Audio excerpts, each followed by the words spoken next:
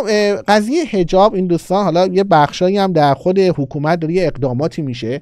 بعد ببینیم که تا کجا می‌خواد پیش بره. یه فازهایی هم داره دفتر خامنه ای نشون میده که در این حال که خامنه ای زر می‌زنه میگه هجاب مثلا حرام شرعیه حرام فلان اینا از یه طرف دیگه از طریق پزشکیان مثل این که می‌خوان ترخه رو یه مقدار شل کنن.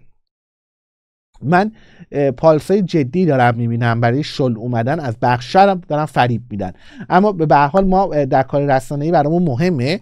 یک سری چیزها رو خب می‌بینیم و باید بررسی کنیم. آقای پزشکی ها هنوز مصاحبهش من البته ندیدم کامل ولی این تیکه مصاحبهش رو خود دفتر خامنه ای منتشر می‌کنه. ببین یه مصاحبه کرده آقای پزشکیان با دفتر خامنه ای یعنی با سایت خود خامنه ای در گفتگوی تفصیلی با خامنه ای داد آی آر. این خیلی مهمه. یعنی خود بیت رهبری هنوز آقای پزشکیان اون کنفرانس خبری رو نداده. بیت خامنه ای باهاش یک مصاحبه تفصیلی. من یادم نمیاد که اگه بچه ها یادشون میاد دوستانی که آگاه ترن بگن. من یادم نمیاد دفتر خامنه ای در این سطح و لول حتی با رئیسی مثلا مصاحبه کرده باشه. درست میگم؟ یعنی بذار ببینم.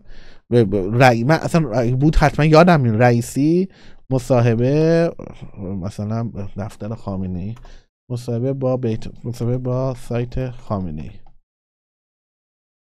نه من همچین چیزی رو نمی‌دونم. مثلا اینجا دارم می‌زنم همچین چیزی رو حتی با رئیسی هم یه همچین اتفاقی نیفتاد واقعا. یعنی این خیلی اتفاق نادریه. نمی‌دونم بچه یادشون میاد کسی که سایت خامنه ای با کسی اینجوری مصاحبه کرده باشه. خیلی مهمه این قضیه به نظر من که ما الان می‌بینیم که سایت خامنه ای اومده. من الان بذار رئیسی رو چیز کنم مصاحبه با خب روایت این خبرنگار نه ما نداریم. من الان سرچ کردم سایت خامنه ای رو. یعنی اصلا این اولین بار فکر می‌کنم که سایت خامنه ای بیت رهبری اومده داره با یک رئیس جمهور مصاحبه. اصلا این به نوبه خودش یعنی خاک بر سر همه شما انقلابی ها یعنی الان جایگاهی که پوزیده داره رئیسی که الان چیز کرده اونم حالا پوزیده شده با گاف اون نداشته در این حد حداقل.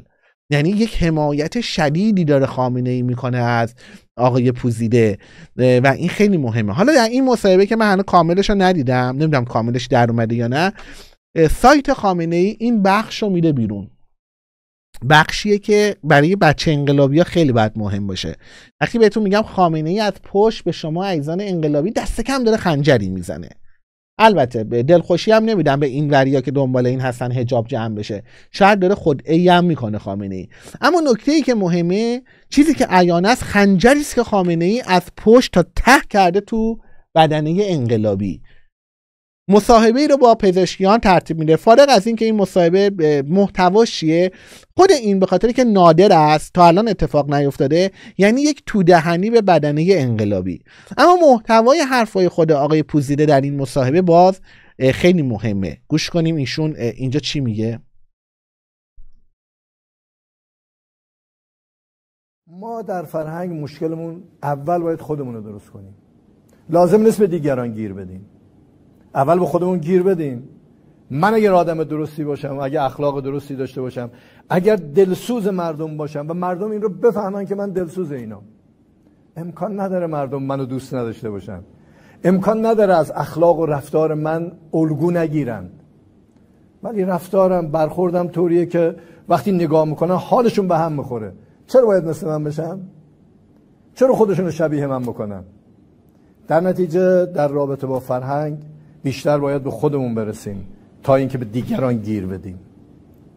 دا و کفیک ولا تشعر و دوا و کفیک ولا تشعر. درد خودمونیم درمانم خودمونیم. خب این صحبت ها محتواش مشخصه. یعنی آقا ما گشت ارشاد نمی‌خوایم. ما نباید گیر بدیم بر سر هجاب به یک زبان دیگری که آقا ما بر بحث فرهنگ اینجا بحث هجابه آقا ما نباید گیر بدیم. این حرفیه که داری می‌زنه و این قضیه چرا خیلی خیلی خیلی خیلی خیلی مهمه؟ پوزیده شخصیت نداره. پوزیده یک انسان شیرین عقل از نظر من. ثابت شده بهم. دارم مسئله که تو این مدت ایشونو روانشناسی می‌کنم. یک مخلصه به تمام معناست. پوزیده چیزی از خودش نداره. پس اون تحلیلی که شاید مشتبا خامنه ای و خامنه ای حالا به هر دلیلی شاید فقط پوزیشنه یا جست اینو بگیرن که می‌خوایم یه خورده فضا رو باز کنیم شاید این درست باشه. البته ما تا زمانی که چیزی عملا انجام نشه هیچ قضاوتی نمی‌تونیم بکنیم. جمهوری اسلامی زر زیاد می‌زنه. اما نکته مهم اینجاست. آقای پوزیده برمیگرده میگه ما نباید به مردم گیر بدیم ما باید به خودمون ایراد بگیریم. یعنی این حرفا خروجی تحلیل تفسیر این حرفا اینه که گشت ارشاد رو باید جمع کنیم. دست کم. این چرا خیلی برای من اینجا مهمه؟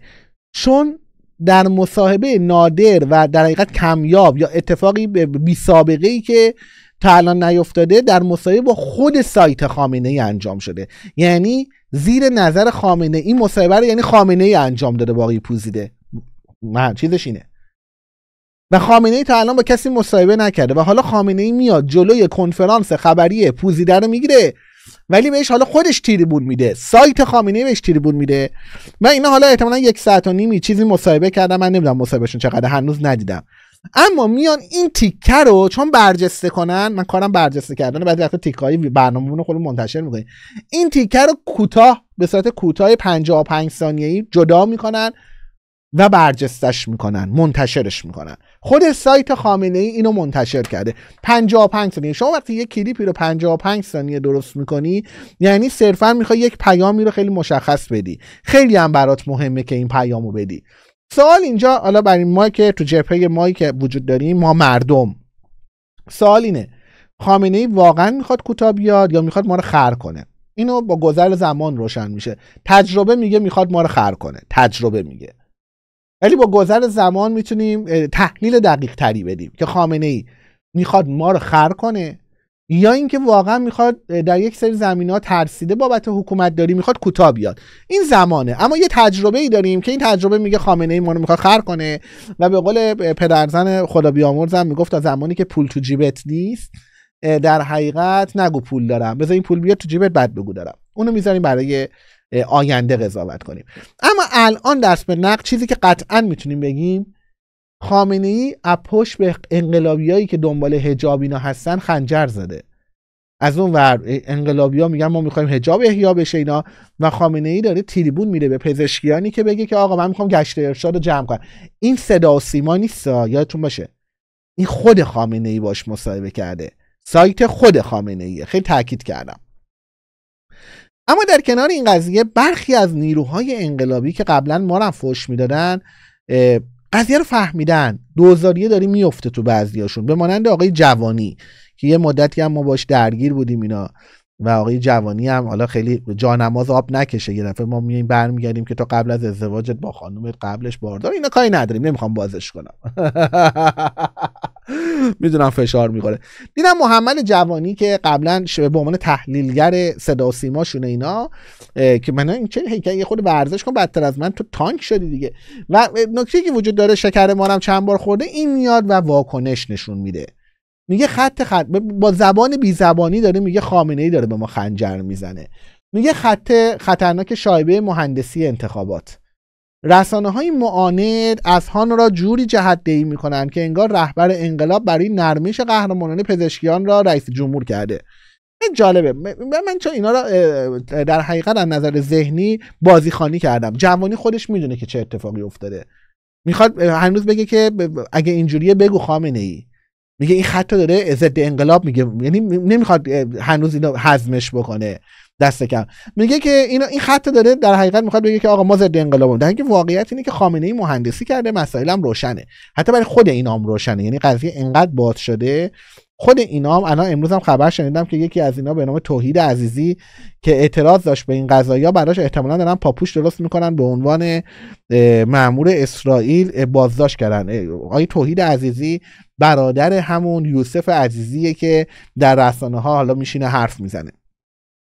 میگه تا به زودی بتوانند ضعف های شخصیت شخصیت و دولت او را به پای رهبری بزنند و مطالبات را سوی ایشان روانه کنند. شبیه ماجرای برجام که گفتن زیر نظر و تصمیم رهبری بوده. خب اونم بود. برجام هم با درخواست خود خامنه ای بود این دیگه بس این بازی ها بازی ها تا یه حدی دیگه. خود آقای خامنه ای برگشت گفت جواد ظریف بهترین عمل کرده داشته. میگه البته تشکر من. بعد که خراب شد خامنه ای خودی کشید. تا قبل از اون خامنه کامل کنارشون بود. میگه البته تشکر مشکوک پزشکیان نیز بر این شایبه دامن زد. دقت کنین میگه تشکر مشکوک. اگه تشکر نمی‌کرد آقا این فلان. اگه تشکر بکنین. حالا این تشکر مشکوک پزشکی. آیا جوانی من یه سوال دارم. این همدیگه رو بازی ندیم. اولا توف به روت بیاد. اون که کاری ندارم ولی بالاخره تو هم بالاخره می‌فهمی دیگه. مغزی تو کلت هست هر چقدر بیشوری. بالاخره گاوم می‌فهمه بالاخره یه حدی.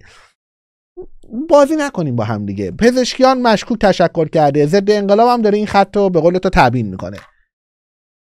این اتفاق نادری که بی سابقه است اتفاق تا نیفتاده مصاحبه سایت خامنه ای رو با پزشکیان چی میگی؟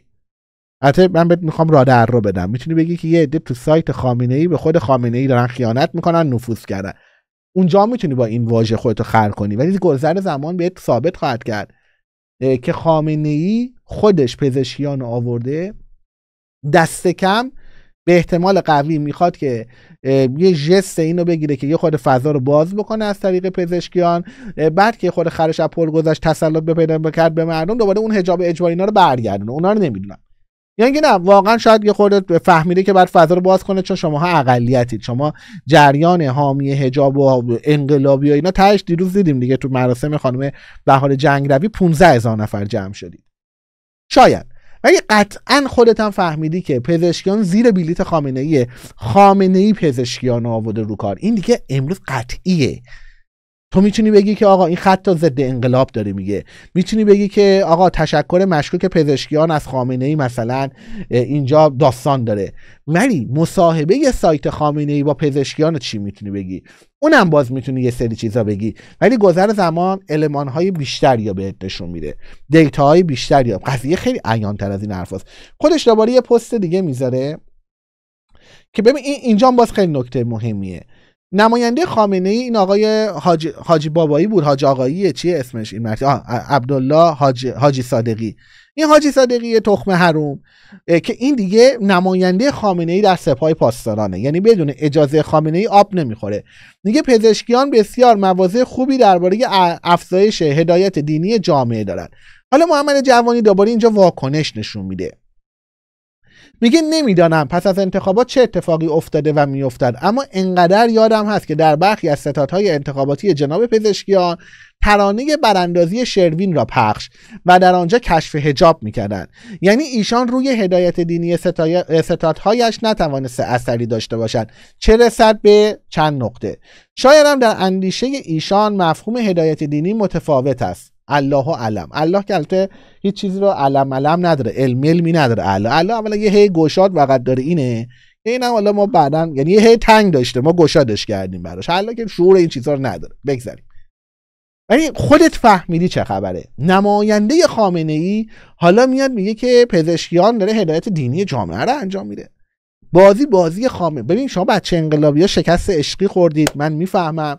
با واقعیت روبرو شید. خامنه ای از پشت بهت حالا شما می‌تونید بگید آقا من می‌خوام بین شما انقلابی ها با خامنه ای بین شما بچه دوزاری ها یه تشیع انقلابی تو سری خوری که به زور 15 هزار نفر دیروز تو ورزشگاه آزادی جمع کردید می‌خوام شما رو با بیت رهبری اختلاف بندازم شکاف ایجاد کنم. بله این کارم می‌خوام بکنم تعارف که نداریم.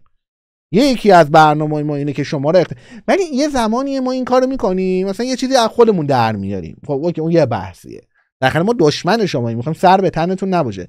ولی یک زمانی ما رو واقعیت داریم اینو میگیم.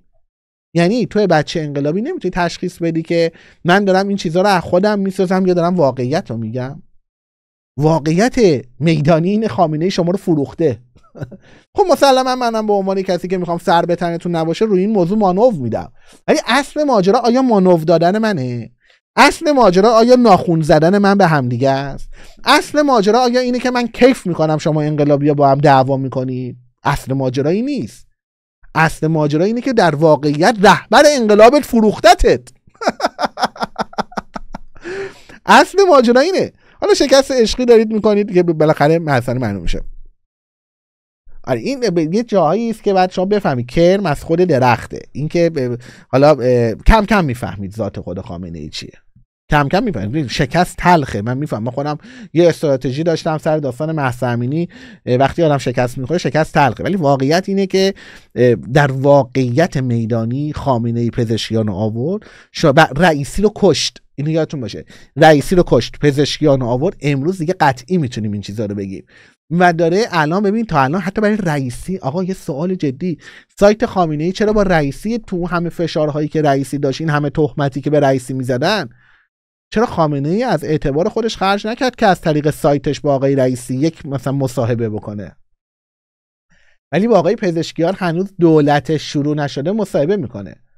حتی تا کجا می‌خوای با این حرف که آقا ضد انقلاب می‌خواد بین ما اختلاف بندازه ضد انقلاب می‌خواد فلان کنه ضد انقلاب داره مثلا فتنه می‌کنه می‌خوای خودتو گول بزنی. بله ضد انقلاب می‌خواد شما رو به دعوا بندازه می‌خواد فتنه کنه. منم جز اونام واقعیت ولی چیزی عوض نمیشه. ما بخوایم یا نخوایم مهم اینه که خامنه‌ای فروختتت.